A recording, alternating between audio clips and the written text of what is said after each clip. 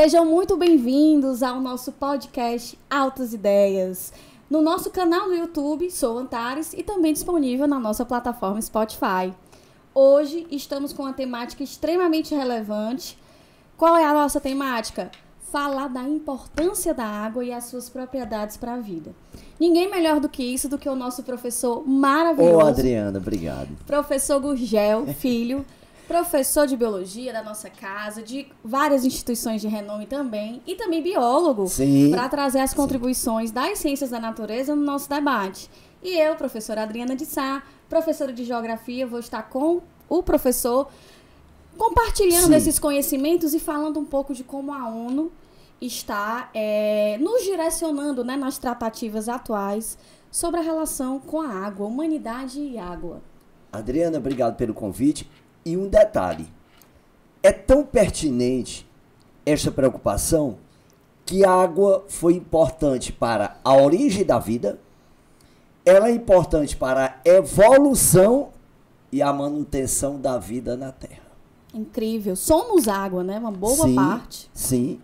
O próprio corpo humano, em torno de 70% dele é água. Claro que este número vai variar dependendo da idade, Sim. do tecido, mas Adriana, toda e qualquer forma de vida, ela depende totalmente da água para desenvolver seu metabolismo. Água é tudo para a vida. Tanto para a vida, quanto pegando um pouco aí o gancho da geografia, para as formações, né, exógenas e endógenas da nossa crosta, da litosfera, a questão climatológica, o gerenciamento dos recursos hídricos. Então, além da questão biológica, tem uma interdisciplinaridade. Posso encontrar uma palavra para o que você está dizendo? Claro, deve. Ela é quase onipresente. É verdade. Temos essa, esse sentimento, Sim, né? com certeza. E aí, deixa eu fazer primeiro uma citação aqui, Adriana. Claro. Dizemos assim: para a geografia, e como matéria, é um recurso infinito. É verdade. O que nós chamamos de recurso renovável, né? Não é? Sim. Muito bem. A preocupação do homem contemporâneo, e daí da ONU, e de nós, e de você que está nos assistindo, é a preservação dela. Uma vez que o que estamos observando é uma redução drástica no teor de água potável. Essa é a grande preocupação. De água disponível que nós temos para consumo direto, nós temos menos do que 3%. E como gerenciar esses recursos? Como trabalhar em cima também de questões geológicas e geomorfológicas que acabam concentrando água em algumas partes e tendo uma menor quantidade de reservas, tanto superficiais quanto subterrâneas, em outros espaços. Sim. Como é que a gente faz esse gerenciamento? É isso que a ONU veio agora com nossa, a nossa temática de 2023, é, relacionada ao quê? Seja a mudança que você quer ver no mundo. Faça essa mudança, sejamos todos nós beija-flores nessa questão do gerenciamento da água e da preservação do nosso recurso para gerações futuras. Nesse ponto, os aquíferos são fundamentais, né, Adriana? Fundamentais. Se a gente for analisar, Gugel, dados mais recentes, de 2019 até 2022, a gente observa a poluição presente com mais força, mesmo com questões de pandemia, a gente teve esse aumento de poluição nos nossos, aquíferos, nos nossos aquíferos. Se a gente diminuir a escala de análise para o Brasil, nós vemos que o aquífero alter do chão, do sistema aquífero da Grande Amazônia, está com processos tanto de problemas com a recarga hídrica quanto de poluição seja relacionados à urbanização e também com a questão dos garimpos, além da expansão do agronegócio. É muito complicado. E como a biologia, é, me permita lhe fazer essa pergunta, para a sumidade que és, como a biologia ou essa, essa análise biológica nos traz alguma alternativa ou algum tipo de possibilidade de manejo, de uso dessa água de uma maneira mais sustentável? Adriana, primeiro, a conscientização ecológica. Deixa eu citar um detalhe para você aqui. Os números em relação à poluição, eles são exagerados demais. Tipo, diariamente, lançamos nas coleções hídricas o equivalente a 9,8 bilhões de toneladas de litros de água poluída, de esgoto. Um absurdo. Levando em conta que este esgoto é habitat para um número muito grande de micro-organismos patogênicos, aqueles que Nossa. causam a doença. E o detalhe, Adriana, olhe, há uma, esti- há uma estimativa que sugere que em torno de 2 bilhões de pessoas no mundo não têm nem acesso à água potável. O que é que isso vai sugerir? Que essas pessoas estão doentes. Com certeza. Não é? E o detalhe, então, seria fundamental primeiro a conscientização ecológica. Nisto, é importante que cada um faça a sua parte. Então, primeira coisa, em vez de lançar aquele esgoto em uma coleção hídrica, lance-o em um biodigestor. Porque ele vai fazer uma fermentação anaeróbica e ainda vai produzir energia elétrica de graça e o biodigestor ainda vai me fornecer um fertilizante para eu aumentar a produtividade agrícola. Mais importante do que isto é o tratamento da água. Nós poderíamos até revitalizar os rios. Com certeza. Há um investimento em tecnologias, na atualidade, voltadas tanto para a questão energética, descobri, é, descoberta de novas fontes, por que não também de- destinar políticas públicas e até iniciativa privada para esse processo de recuperação, Perfeito. de despoluição? Perfeito. Isso deve ser é, o carro-chefe, porque nós não vivemos sem água. Um compromisso com a vida. Um compromisso com a vida, já que ela também vai estar é, dentro da- das reações químicas, físicas Sim. e biológicas mais importantes. Eu vou usar agora dois termos, fazendo uma analogia a dois termos que você usou no início do nosso bate-papo. O animal, como qualquer ser vivo, no caso do homem, como heterótrofos, dependendo do alimento do meio, poderemos utilizar água de origem exógena, Sim, aquela que vem do ambiente, ou pela ingesta, ou ainda pelo alimento. Mas tem uma série de reações químicas, Adriana, que por elas há uma síntese por desidratação. sim, A água é tão importante que até em termos metabólicos e de evolução, uma série de reações químicas ainda liberam água para que as células possam utilizá-la. É a água de origem endógena. Não é? É água de origem endógena. E o detalhe, as doenças que nós falamos aqui, ela tanto pode ter uma origem hídrica, aquela que o componente tóxico, por exemplo, já está na água, mas a água também é um veículo de transmissão de micro-organismos. Então ela está dentro de todo, todo o movimento da biosfera. Perfeitamente. E o detalhe, olha, é, há também estimativas que sugerem que se todas as pessoas tivessem acesso a uma água tratada, haveria uma redução drástica em torno de 80% das doenças.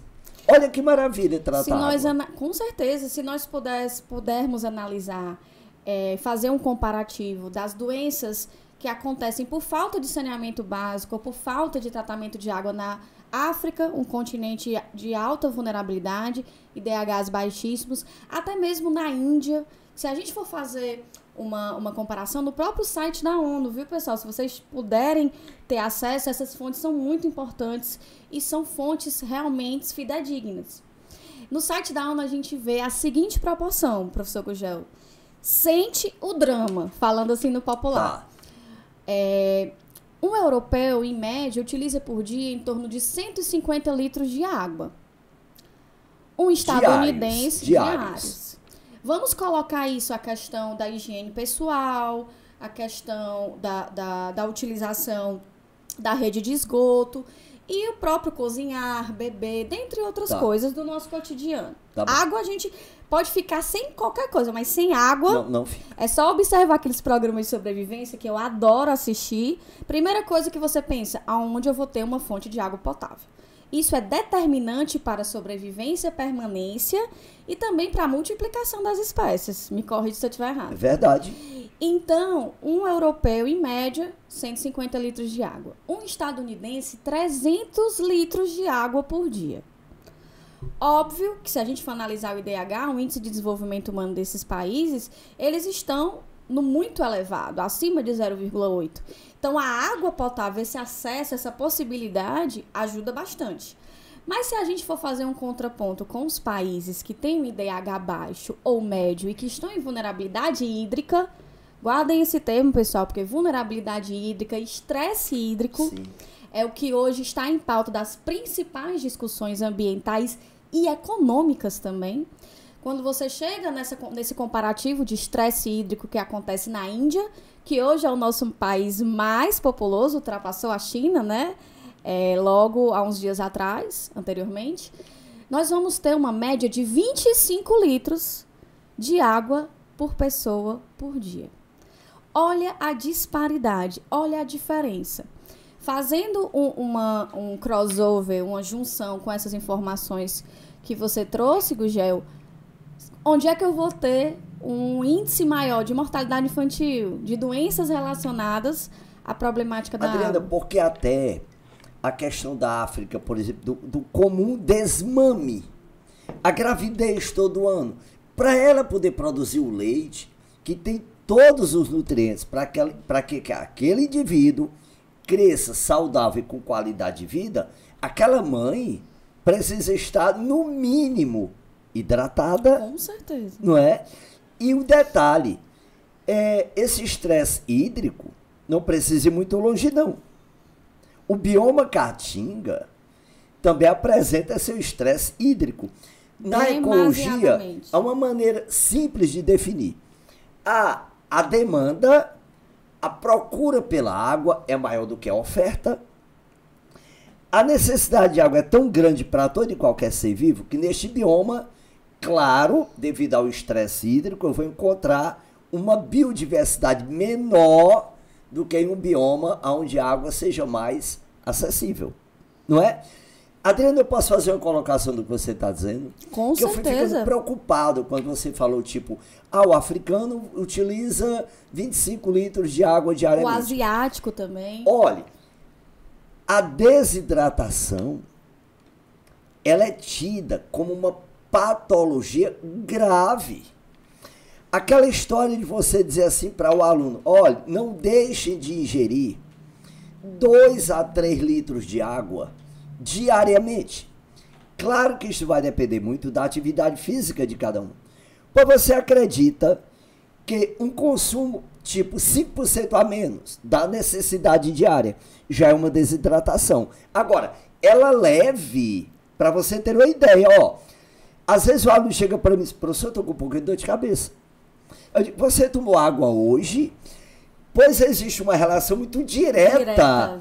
entre a desidratação leve, que já produz cefaleia. Com certeza. Né? No período de férias, a questão do próprio turismo, a gente que não está adaptado, por exemplo, não está nem adaptado, acostumado a ficar muito tempo na praia, esquece de ingerir esses líquidos, você já se sente aquela fadiga. Exato. Isso é um sintoma Exato, é um um... sintoma. E, eu- e olhe, evitar o excesso de sol é uma medida profilática para desidratação. Perfeito.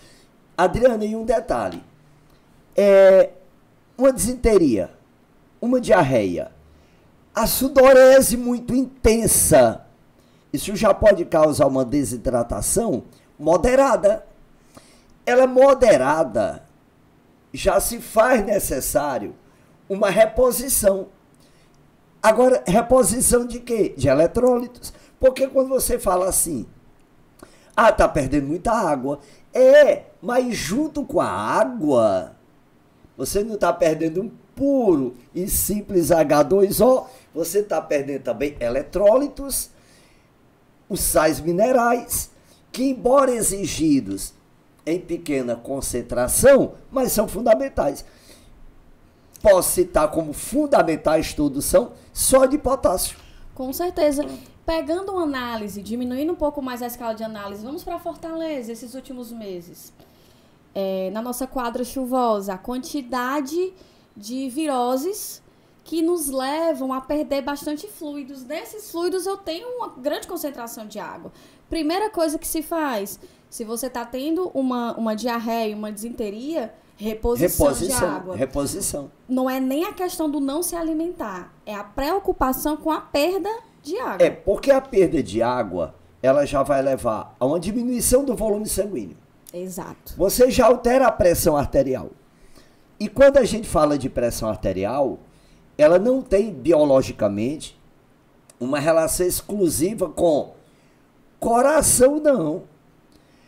Para manutenção de uma pressão adequada, Adriana, olhe, o corpo utiliza o que a gente chama conjunto de células justaglomerulares dos rins.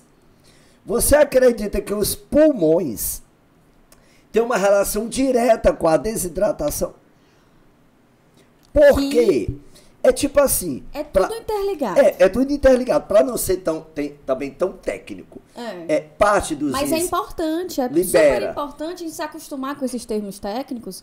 Eu falo muito isso, não só para a questão de, de prova dos alunos, para a gente até ler relatórios sim, científicos, sim, é super sim. importante. Adriana, você é maravilhosa. De, deixa eu fazer uma colocação aqui. Ó, é, com um pouco de desidratação, para você ter ideia, os rins liberam uma proteína chamada renina. Ela está no plasma, ela transforma uma glicoproteína chamada angiotensinogênio em angiotensina 1. Acontece que para ser transformado em uma angiotensina 2, já tem uma proteína liberada pelos pulmões. Olha que complexo. Aí, né? aí essa angiotensina 1 se transforma em uma angiotensina 2, que é uma enzima ativa. Sabe onde é que ela vai agir? Hipotálamo, sistema nervoso. Para avisar para você que você precisa tomar água. Que você tá com sede. Naquela, por isso que gera essa sede extrema, né? Exatamente. Eu exatamente, aqui o tempo todo. Exatamente. Bebendo água, bebendo então, água. É, aí, aí você vai dizer assim, água, Gel, mas aí esta água no seu corpo Adriana, ela é tão fundamental que, por exemplo, a sacarose. A sacarose é um disacarídeo. A Adriana ela é formada de glicose com frutose. Mas a célula absorve glicose. Para ver a quebra da sacarose, precisa de água. Água. É isso que eu acho mais bonito. É, da água estar presente em todas essas reações. É na composição, é na reação, sim, é na liberação de energia, sim. é em tudo. Ah, a ureia é um componente químico tóxico. Você tem que liberar. Através de quê? Da água. Tem até um, um ditado popular é, que a gente pode trazer aqui para para você explicar de uma maneira mais técnica, que diz que quando você está bem hidratado e os seus rins estão funcionando bem, você vai muito ao banheiro, é verdade Exatamente, isso? porque aí é o seguinte, e é importante também que o aluno perceba algo. Claro que o ir muito ao banheiro pode ter outras consequências, é o que a gente vai analisar aqui. Mas, por exemplo, a, o próprio tumor de uma próstata pode fazer você ir muito ao banheiro. Sim. Mas na normalidade, você tem que eliminar o excesso. Porque o corpo está adaptado a um balanço hídrico. Nós temos um esta adaptação, né? um equilíbrio. É um equilíbrio entre o que você vai ingerir e o que você vai eliminar. Perfeito. O cuidado que tem que ter é ir ao banheiro e ter cuidado, por exemplo, perceber a cor da urina. Ah, se está indo pouco. A urina é muito escura. Já é um, um, uma, um spoiler, digamos assim, um indício de desidratação? Perfeitamente. E leve. Olha. Já é para chamar sua atenção. Como é perfeita a nossa máquina humana. Né? Exatamente. E agora, lembrei do que você falou. Água gel e a água têm uma relação direta com a reprodução. Claro, porque os próprios gametas são transportados praticamente por água. É porque boa parte da, do sêmen é água. Embora ali tenha frutose, uma série de aminoácidos. E um detalhe, mesmo gerado, aí nesse caso a mulher é uma perfeição. Aquele embrião e aquele feto Está protegido por água. Perfeito, né? né? Ó, fiquei, foi arrepiado agora. Protegido de quê? Da desidratação. Desidra... Impactos também, né? Vai permitir que ele se movimente. Movimente. A, a mãe fica preocupada quando o bebê se move muito. Aquele é um líquido amniótico, né? E vai permitir que ele cresça. Olha aí, ó. Então, a, a hidratação, no caso aí, tem uma relação direta Uhum. com a qualidade de vida dele e a preocupação da mãe em se hidratar. Isso aumenta também a, a taxa de, de possibilidade de sobrevivência após o nascer. Claro, Se, já, exatamente. se, se o, o, o, o filhote, vamos chamar assim, não só do, do ser humano, mas de qualquer espécie, ele já sai de, de uma constituição de boa hidratação, ele consegue também se adaptar mais fácil a um ambiente externo. Perfeito. Adriana, eu diria assim, ó. A questão da gestação é tão perfeita que, como ocorria muito antigamente, ah, ela liberou o líquido amniótico. Como era que se diz na- no bioma cático? Estourou a bolsa. A, a bolsa rompeu, estourou Rompeu. a bolsa, né? Exatamente. Eita, menino. Como perdeu água ali, tá na hora de nascer. Tá na hora de Sem nascer. água, não. É o início do parto, é o Verdade. anúncio do parto. Viemos da água, nos desenvolvemos na água e futuramente também, quando estivermos os decompositores, terminaremos com fluidos Exatamente. onde se tem a água. Exatamente. Não é à toa que, a nível celular, a substância mais abundante é justamente a água. Então, não Perfeito. custa nada dizermos, olha, ela é vulnerável, como você falou no início aqui da aula. Mas também é sagrada, Sagradíssima. preciosa. E, vu- e vulnerável porque a ação antrópica, ela está mudando esse sistema. Tanto mudando é, o uso, o consumo organizado, sustentável da água, que na atualidade não acontece de maneira eficiente, e também nós não estamos dando tempo da, de se ter uma recarga hídrica. Essa recarga hídrica que tem uma, uma mensuração de tempo na questão geológica. Mas o homem usa tão demasiadamente que a gente não tem como é, os embasamentos geológicos, a questão dos aquíferos e até de águas superficiais conseguirem sustentar esse consumo demasiado. Por isso que a conscientização é tão interessante. Muito importante. É uma coisa que a gente vem batendo na tecla com os alunos há muito tempo.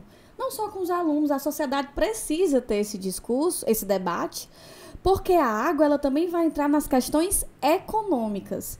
Que hoje, seja na questão da, da biologia, da geopolítica, da geofísica, tudo está voltado para a geração de capital ou para a perda dele. Então, como a água. é- é, vou te fazer agora uma outra pergunta. Estou muito perguntando Tá. hoje porque, gente, eu fico empolgada quando o Gugel tá Ó, na minha frente. eu- Eu quero aprender muito, muito, Eu- muito. você fica falando e eu fico. Só pensando É, é, é. as respostas. Isso é maravilhoso, Gugel.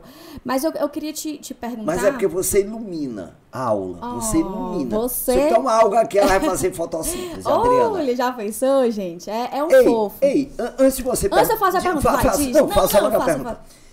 Senão eu vou ficar Zerinho. desconfortável. Vai, pergunta. O que eu gostaria de perguntar, já pegando um gancho, é no nosso setor produtivo que consome mais de 70% da nossa água potável, que é a agricultura. É, biologicamente falando, geograficamente a gente sabe que existem várias técnicas de conservação de recursos hídricos, mas como hoje o nosso tema é importância para a vida, como a gente poderia trabalhar um gerenciamento desses recursos hídricos, é, ajudando tanto a manter a biodiversidade, mas também tendo uma eficiência econômica na produção de espécies comercializáveis? Muito bem. Adriana, o que é fundamental? Cada cultura ser cultivada quando aquele clima lhe permitir. E só preparar aquela cultura se tiver água disponível. Agora, não gastá-la. Como assim? Ah, se tem um tomateiro. O que é o ideal para irrigar? O gotejamento. É uma técnica super eficiente. É verdade. né, o gotejamento. E o detalhe, evitar qualquer forma de desperdício. A questão está aí. E só produzir aquilo que é necessário. Porque o Perfeito. desperdício do alimento do homem, ele é gigantesco. Quase um terço, dados, viu, pessoal? Também da Organização das Nações Unidas, que quase um terço do que é produzido nós acabamos perdendo ou no transporte, desde, desde a questão da colheita até a questão do transporte, até chegar no destino final e até passar do prazo de comercialização. Outra coisa, o armazenamento. Perfeito. O que é alimento para o homem é para o microorganismo, é para o fungo. E dizemos biologicamente assim: ah, mas aquele alimento está desenvolvendo um fungo. É, o fungo está desenvolvendo o papel biológico dele. Eu vou complementar o que você me perguntou. Adriano, o homem hoje, tem, pelo menos para um número muito grande de produtos, cálculos muito próximos do real, estimativos em relação à água virtual. Perfeito. O que ele gasta na produção. E é algo tipo assim: ah, para um quilo de queijo, aí tu bota aí 10 mil litros de água. Ah, mas para a calça jeans, tu bota 20 mil litros de água. E o detalhe, e aquele corante tem que ter um destino adequado. Perfeito. Não uma coleção hídrica. Isso é o que nós vemos diretamente na questão do, do, da falta de tratamento desses resíduos líquidos na questão industrial. Aqui no nosso Ceará, que é um grande polo têxtil, nós observamos vários debates sobre para onde destinar esses rejeitos, como tratá-los. E no século XXI é meio paradoxo a gente tentar discutir é, isso. E eu lembro que há hoje, Adriana, o que chamamos de medidas inovadoras. O que seria isso? Use o DNA.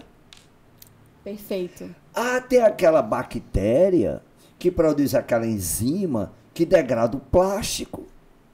Então não espere 500 anos para aquele plástico se decompor, não.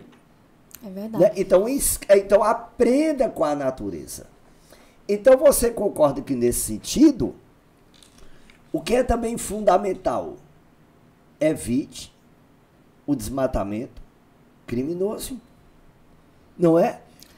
Essa questão da manutenção da cobertura natural da vegetação é, ajuda na recarga hídrica, que é o que a gente está precisando urgentemente, não é verdade? Por quê? Porque aquela água que vem do lençol freático, ela vai retornar àquele lençol freático.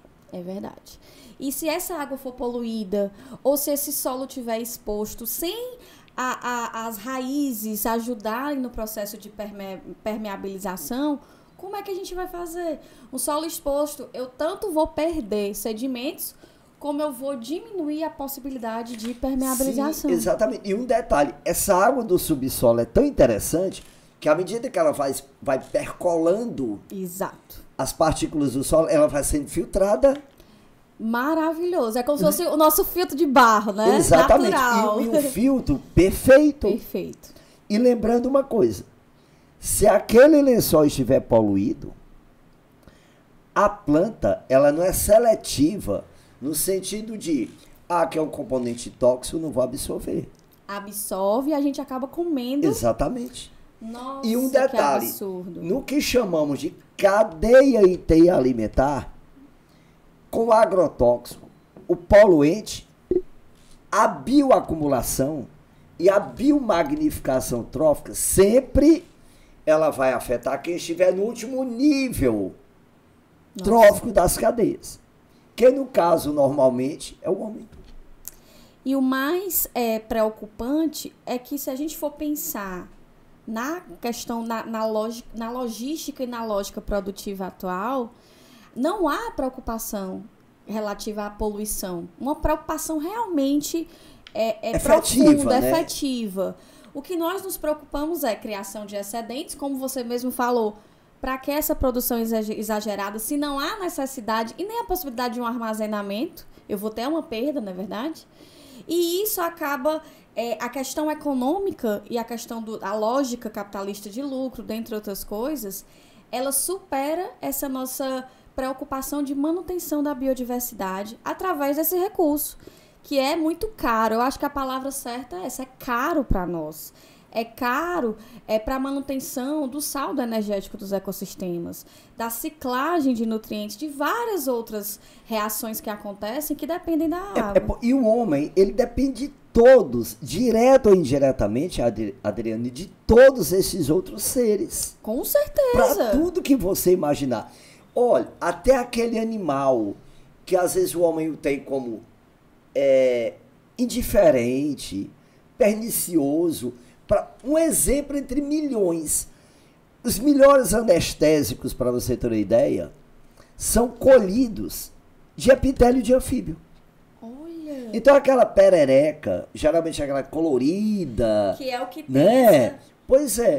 Então, há uma dependência nossa, daí a necessidade também de preservação da floresta amazônica, por todo o grau de biodiversidade que ela tem.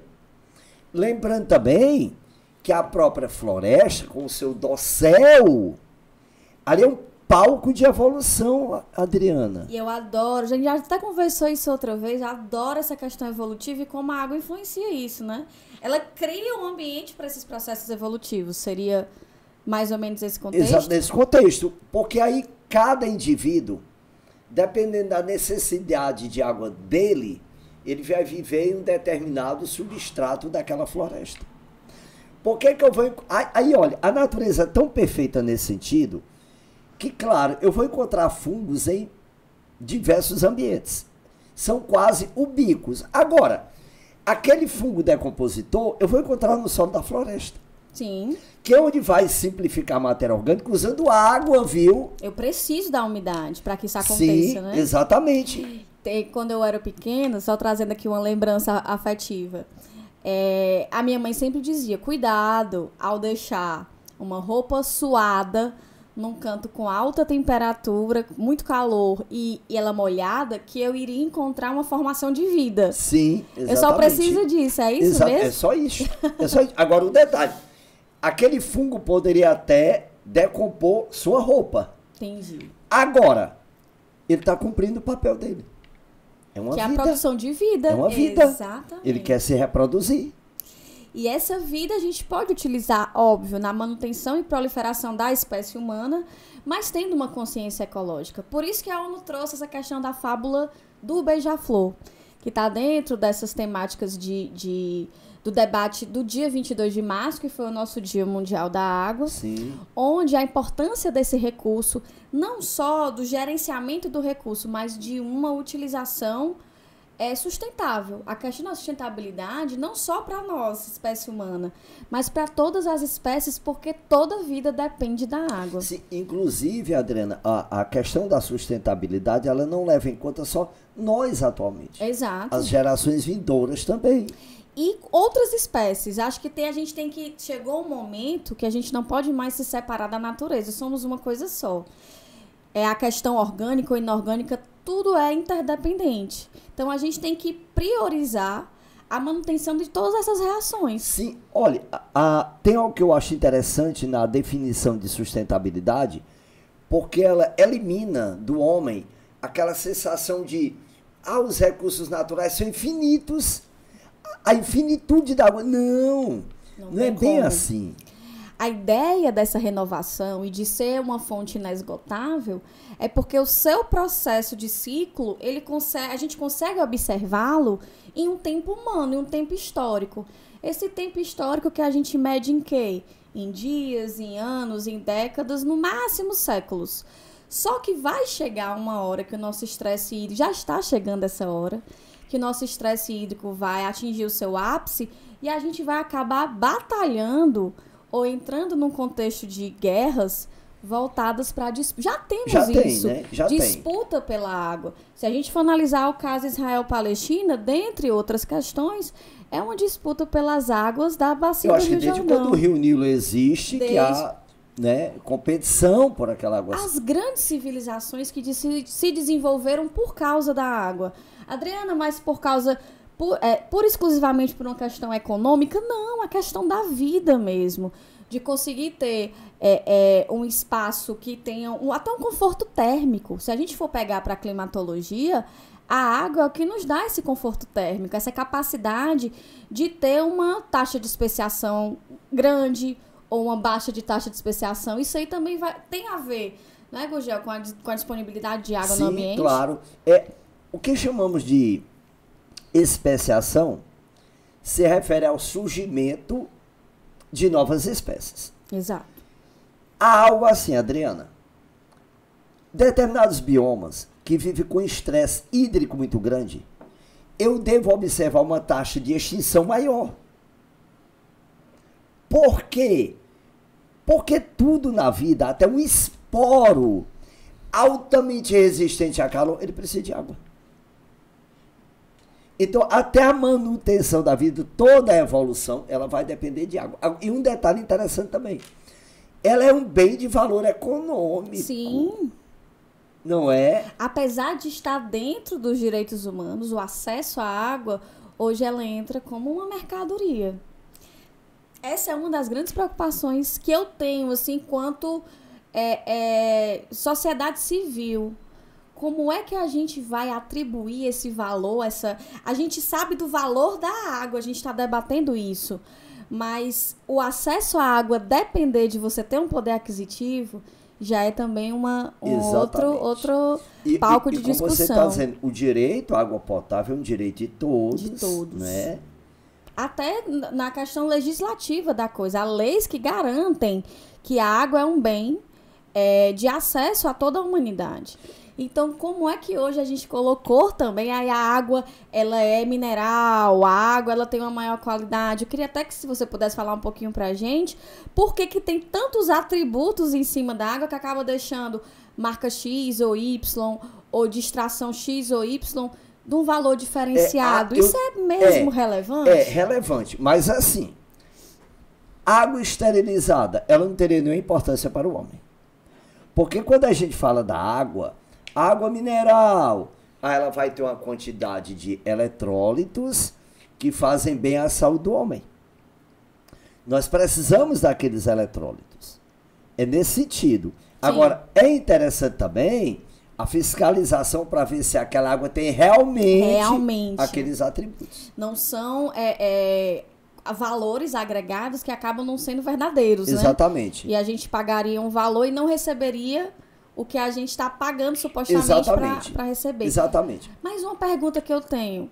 Eu tô cheia de perguntas hoje, professor é, Gugel. Eu, eu fico satisfeita em atendê-la. Eu sabe? sou uma curiosa e uma tá. entusiasta. Mas pode falar, depois eu pergunto. Não, aí você falou de. Não, deixa. Pronto. Primeiro você. A minha pergunta é com relação a.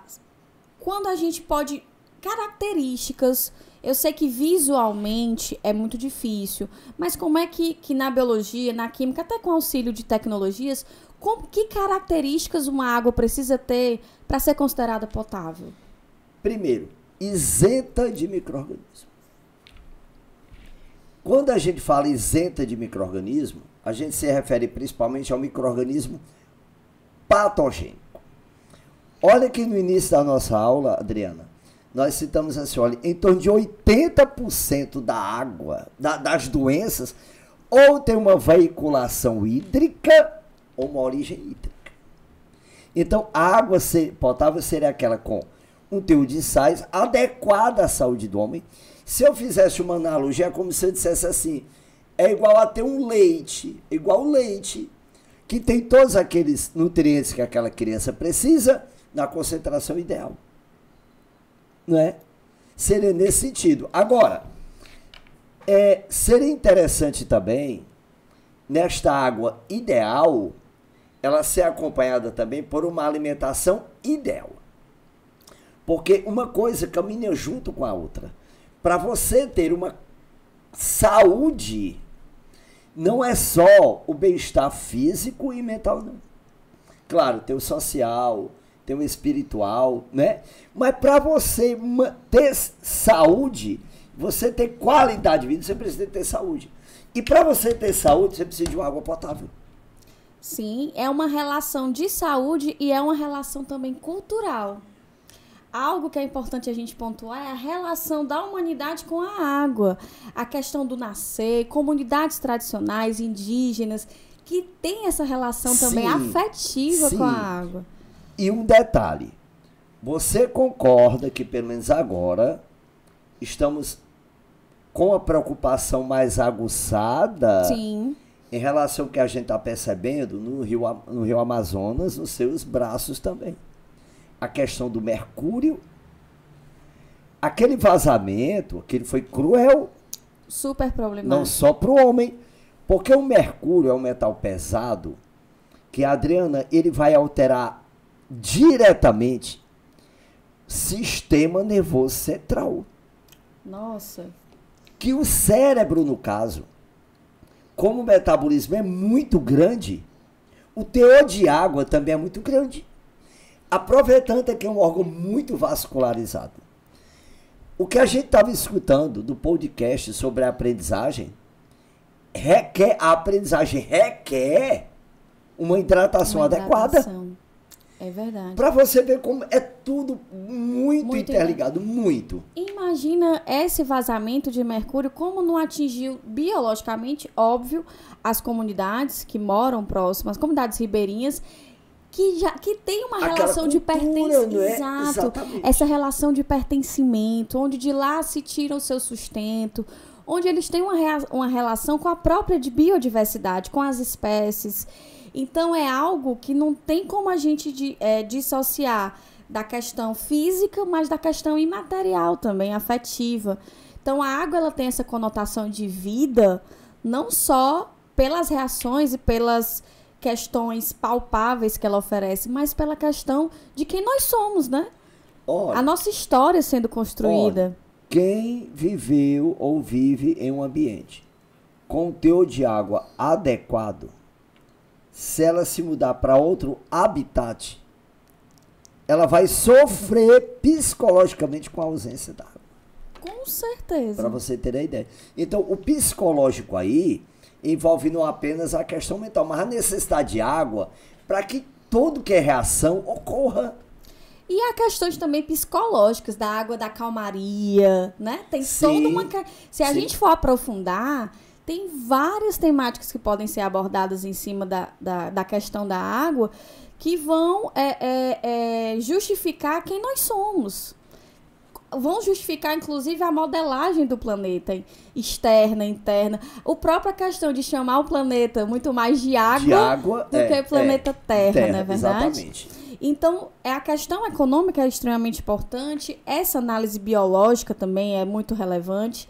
Dentre as questões culturais também, agora voltando àquele ponto que, que, que a gente tocou que é muito sensível, que é a questão da educação ambiental. Como trabalhar isso para que hoje a gente construa, não é nem reproduza discursos, é construa discursos para que as gerações que estão vindo aí ocupar as grandes cadeiras do poder e, os- e e vários patamares da sociedade, que elas possam é, continuar nesse processo de preservação. Adriana, da mesma maneira, é fundamental que cada um faça o seu papel. A fábula do beija-flor da ONU, perfeita. Indico todos vocês a acessarem o site. É exatamente o que você está falando, professor Gugel. Pode continuar. Então, por exemplo, não deixe o chuveiro aberto por muito tempo enquanto você não está usando aquela água. Da mesma maneira, não vai escovar os dentes e deixar a torneira aberta, porque isso- a- a- o próprio gotejamento, Adriana, se você for levar em conta, uma hora de uma torneira gotejando, Nossa. a quantidade de água é muito grande, que poderia ter uma utilidade Onde Vital. falta num, exatamente, onde falta num canto. Hoje nós temos disputas é, na se a gente for analisar tanto a questão do, do Sahel na África quanto a questão dos grandes desertos asiáticos. A gente pode falar também aqui do semiárido, a grande problemática é, de debate ambiental com relação à transposição do Rio São Francisco para tentar sanar ou pelo sim. menos atenuar Sim. o estresse hídrico que nós temos no polígono das secas. Então, tudo isso é extremamente. É, a gente ficaria aqui num, num, num mundo de coisas, mas estamos nos aproximando Adriana, do fim. Ai, meu Deus, a eu, não- poluição. eu ficaria aqui cinco horas escutando o professor Gugel, é Adriana, a poluição, ela vai comprometer até a respiração do homem.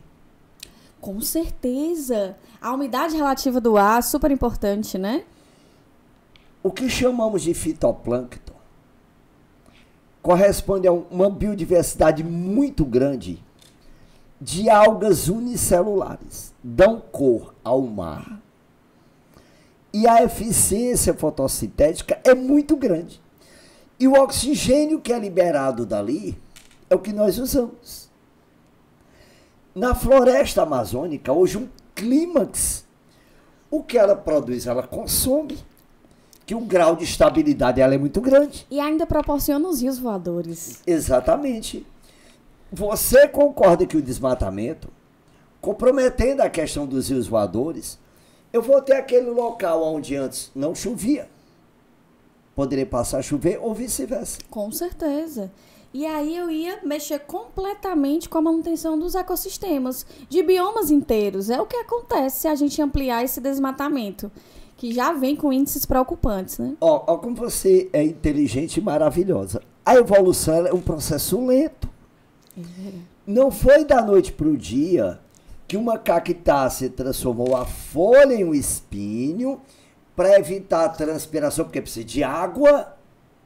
Verdade. A, aquele cladódio, aquele caule da cactácea, tem um parênquima aquífero onde ela acumula muita água. Mas aquilo ali foi uma aquisição por seleção natural. Milhões e milhões e milhões de anos, né? Do pré-cambriano para agora. É, eu brinco muito com, com os meus alunos é isso. Gente, a evolução vai acontecer. Provavelmente a gente não vai estar tá vivo para ver, porque eu acho que a gente vai viver, tô aqui pressupondo, uns 150 anos. É, não vamos chegar a 25 milhões tá. de anos, eu é. acho. Quem é. sabe, né? É. Lembrando que nós vamos ultrapassar isso, Adriana, porque nós respeitamos a natureza. Com certeza. E o DNA humano, ele é programado para você viver 130 ou mais anos. Por que, que não vivemos tanto? A poluição. A água como veículo de microorganismo e como origem de uma série de patologias. Tá aí a grande resposta, né, desse nosso debate. A água precisa ser preservada para que a humanidade dê mais manifestações de vida sejam preservadas. Perfeitamente. E um detalhe que o homem precisa também entender. Nós não somos, em termos de evolução, aquela espécie mais evoluída, não. Adriana, Super importante. nós estamos adaptados ao nosso nicho ecológico, o microorganismo dele. É verdade. Um dia um aluno disse assim para mim, Gugel, eu discordo porque uma bactéria que faz fermentação lática, ela só tem um saldo de 2 ATPs. E nós, em ciclo de respiração celular, acumulamos 32. Eu digo exatamente. O homem precisa de, de... 32 ATPs. Uma bactéria de 2. Ele diz, ah, tem razão. A gente precisa fazer é, assim, essa comparação das realidades, né? Exatamente. Se você disser assim, o homem é um aeróbio, eu digo, é, tem bactéria anaeróbica que o oxigênio é tóxico para ela. Então não precisa, não precisa dele. Né? Com certeza. Aí um detalhe que eu queria colocar para você também. Adriana, eu, eu fico olhando para você, aí vai, a gente vai é, abrindo mais a mente. Olha. Ai, maravilha. Olha, é, na respiração celular, é um ciclo meta, de rota metabólica, aonde, por exemplo, tem um transportador chamado NAD, outro FAD. Ele vai levar hidrogênio, que vai se ligar ao oxigênio a você eliminar água na forma de vapor. Olha que maravilha. Olha, é, olha em termos metabólicos, estruturais, orgânicos, fisiológicos, evolutivos, tudo que você imaginar. O estrutural que eu estou dizendo é assim. A planta tem uma célula túrgida, ela está cheia de água. A copa está viçosa, Água. esbelta e cheia de brilho, água. Perca água. Puxa. Pra você ver o que acontece. Puxa. Daí essa é a nossa preocupação. E professor Gugel, do meu coração, eu ficaria aqui horas e horas lhe ouvindo, mas já tá com o tempo estourado, pessoal. Só para esse tema da água, a gente pode fazer um debate de 24 horas Lembrando, seguidas. Adriana, que esse é um tema muito próprio das redações. Totalmente. Para você ter é, é um arcabouço teórico, para você ter um repertório importante e até mesmo para a sua vida, para as suas ações, o pensar enquanto sociedade, enquanto coletividade, é super importante. Além dos principais vestibulares, como o Enem, como a FUVEST, como a Unicamp, que abordam essa temática sobre a utilização do recurso, a gênese do recurso e como sim, isso está inserido nos sim. seres vivos. Adriana, um detalhe. Aprendi muito com você. Eu que aprendi Mas, Adriana, demais, eu tô espere aqui. aí. Com o talento que esses alunos têm, o que é fundamental também. Auxilie as outras pessoas, oriente as sim. outras pessoas em relação à utilização da água com certeza, é o nosso papel. Né? Evitar o desperdício é um compromisso com o futuro e a manutenção da vida na biosfera. É verdade.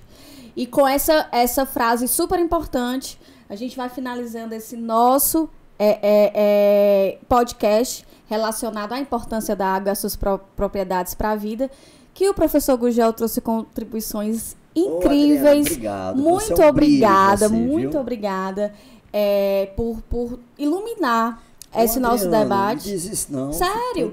E eu, cada vez que a gente conversa sobre isso, eu com a minha visão geográfica, você com a sua visão da questão biológica e demais contribuições, eu fico mais interessada e mais curiosa sobre esse tema. Então teremos outras oportunidades. Com certeza. De temáticas variadas. Vamos pedir para sermos convidados, né? Com certeza, é assim. com certeza. Adriana, muito obrigado. Sua presença é um brilho a sua competência, você faz bem a vida. Nós, nós, porque ninguém faz nada sozinho. Essa coletividade, olha, é. a coletividade, é. tanto na construção do conhecimento, que é o que estamos fazendo aqui junto com vocês, quanto também com impactos positivos sociais na sociedade, que esse nosso debate vai gerar, eu tenho certeza. Perfeito. Perfeito. Agradeço a todos, compartilha, curte o nosso, o nosso vídeo, escutem nas principais plataformas, principalmente no podcast e no canal Sou Antares. Obrigada mais uma vez, professor Gugel. Obrigado, hein? Agradeço a todos e Abraço, até mais. Hein?